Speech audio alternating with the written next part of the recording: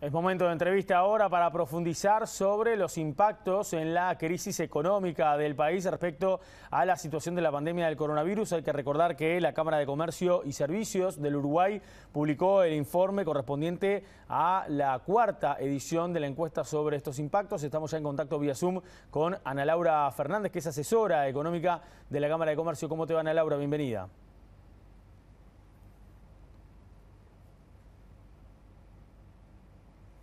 Me parece que Ana Laura no nos está escuchando en este momento. Le preguntamos de nuevo. Ana Laura, ¿me escuchás? ¿Cómo te va? Bienvenida. Sí. Hola, buenas tardes.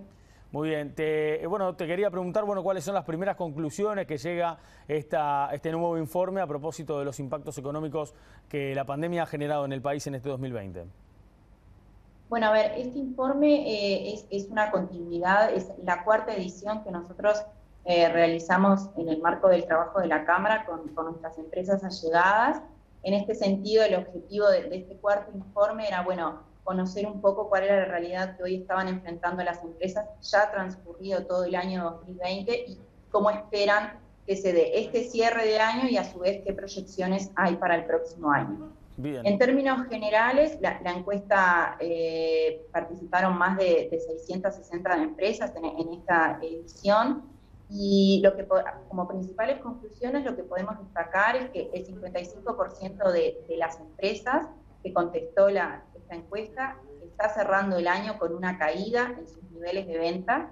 Casi el 40% de las mismas, a su vez, evidenció una contracción en su personal ocupado. Esto en líneas generales, pero está claro que en, lo que es la afectación de, la pandemia, en, en, términos económicos en el sector comercio y servicios, hay algunos sectores que han sufrido más que otros, ¿no? Y, en particular ahí se destaca, tal como lo veníamos eh, analizando eh, mes a mes y en, los anteriores informes, que el sector servicios ha sido el sector mayormente impactado y así también surge en, esta edición, donde los servicios, los servicios asociados con la recreación, con el turismo, son los que evidenciaron el, el mayor nivel de caída en sus niveles de venta, el orden de más del 80%, y ahí podemos destacar el caso de hoteles, por ejemplo, lo que tiene que ver con transporte, también lo que hace a los servicios asociados con, con las ventas, con eventos, con fiestas, donde caen más del 80%, pero también sectores del comercio que también evidencian una caída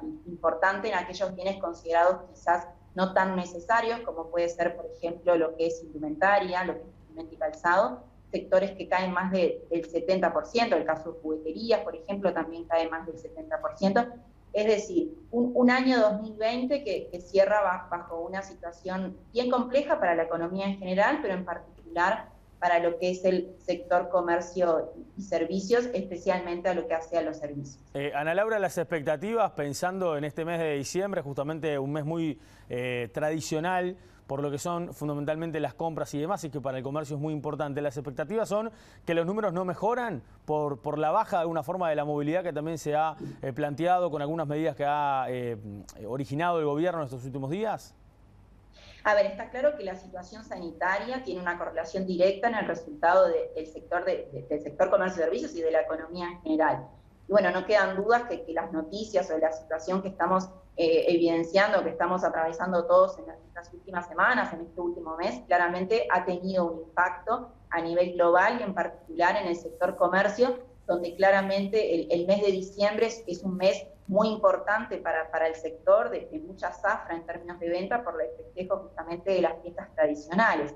Y bueno, y está claro que eh, eh, las perspectivas para lo que eran cierre del año y, próximo, y próximos meses del año 2021 en realidad eh, han, han, sido, están siendo más cautas y están siendo quizás las perspectivas de recuperación que uno podía tener para, para el primer semestre del año. Bueno, hemos extendido en el tiempo y estamos viendo un proceso de recuperación que se esté dando de forma más lenta y quizás ya pensando para un cierre de 2021, recién una vuelta a esa nueva normalidad. Nosotros incorporamos en este informe también un análisis que realizamos con la empresa de equipos desde el lado de la demanda, entender un poquito, bueno, qué pasa con el consumidor, especialmente en este momento, en diciembre, ¿no? ¿Qué, pasa con sus decisiones de consumo en materia de, bienes, también de servicios, pero específicamente de bienes, para lo que son las fiestas tradicionales, y la mayoría, más del 75% en concreto de, las personas encuestadas, los consumidores, establecen, bueno, que estas fiestas van a ser eh, más cautas, ¿sí? van a ser más austeras, ¿sí? entonces eso claramente tiene un efecto directo en los resultados de, la venta del sector comercio y bueno, y por lo tanto también en, lo que tiene que ver con los próximos meses, porque también eh, las perspectivas en materia de ingreso y de lo que tiene que ver con mantenimiento de la fuente laboral, eh, hemos evidenciado una cierta desmejora en, esas perspectivas y, bueno, y eso está siendo resultado específicamente de, lo que estamos viendo en materia sanitaria. Bien, eh, brevemente respecto a la reducción de, personal, eh, ¿se pudo establecer estas empresas que han eh, tenido una baja importante en ventas, si también han tenido una, baja considerable en cuanto al personal que tenían en su momento? Sí, como veíamos, en términos generales, como les mencionaba anteriormente, aproximadamente el 40% de las empresas encuestadas tuvo que, o se vio ante la necesidad de este contexto más complejo económico de, de reducir su plantilla laboral. En el caso concreto de lo que es eh, las empresas del sector servicios, lo que hace a servicios de fiestas y eventos, en el entorno del 70% eh, de las empresas tuvieron que reducir personal ocupado. ¿Sí? En, términos globales hablábamos de este 40%. Y a su vez cuando preguntamos perspectivas para el año que viene, bueno, ¿cómo estiman ustedes que se comportarán, por ejemplo, los niveles de inversión, de rentabilidad? Y también consultamos respecto al personal ocupado, Respecto al factor justamente de trabajo, es, donde vemos eh, el escenario más eh, pesimista, por decir de alguna forma, donde solamente el 9% de las empresas del sector eh, comercio y servicios, en la casi totalidad, establece que va a, realizar o va a hacer o va a llevar adelante un incremento en su personal ocupado.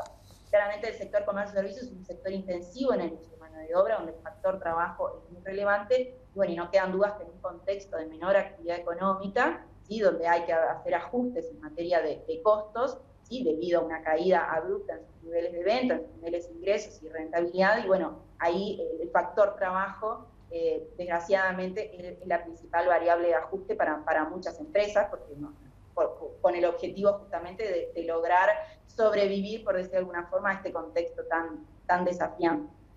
Muy bien, Ana Laura Fernández, gracias eh, por estos minutos con BTV Noticias. Por favor, a las órdenes. Muchas gracias a usted.